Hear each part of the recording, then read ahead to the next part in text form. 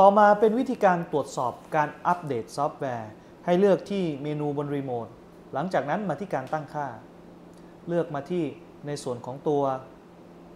สนับสนุน กดมาที่การอัปเดตระบบ ขั้นตอนแรกท่านสามารถเปิดการอัปเดตอัตโนมัติได้ เมื่อมีการปล่อยการอัปเดตตัวซอฟต์แวร์ขึ้นมา หรือระบบขึ้นมา ตัวนี้ก็จะมีการตรวจจับอัตโนมัติ หรือเราสามารถกดตรวจหาการอัปเดตได้ ถ้าทีวีเป็นระบบบริการเวอร์ชันล่าสุดก็จะขึ้นในลักษณะนี้ หรือท่านต้องการเลือกอัปเดตจาก USB ได้ ซึ่งในส่วนนี้ท่านต้องติดต่อทางบริษัท เพื่อขอในส่วนของตัวระบบบริการอัปเดตซอฟต์แวร์เวอร์ชันล่าสุด